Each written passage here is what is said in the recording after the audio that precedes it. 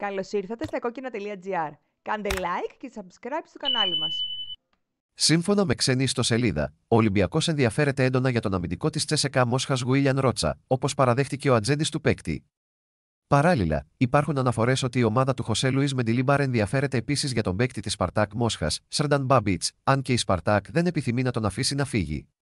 Αναφορικά με τον Γουίλιαν Ρότσα, ο Βραζιλιάνος αμυντικός της Τέσσεκα Μόσχας είναι 29 ετών και έχει συμβόλαιο με την ομάδα μέχρι το καλοκαίρι του 2025. Η τρέχουσα αξία του ανέρχεται σε 6 εκατομμύρια ευρώ σύμφωνα με το Transfermarkt. Ο Ρότσα ξεκίνησε την καριέρα του στη Βραζιλία, όπου έπαιξε για διάφορες ομάδες πριν μετακομίσει στην Ευρώπη. Στην Τζέσεκα Μόσχας έχει καθιερωθεί ως βασικός αμυντικός, συμβάλλοντας σημαντικά στην άμυνα της ομάδας. Η εμπειρία και οι ικανότητές του έχουν τραβήξει το ενδιαφέρον διαφόρων ομάδων, συμπεριλαμβανομένης της ελληνικής ομάδας που εξετάζει την απόκτησή του.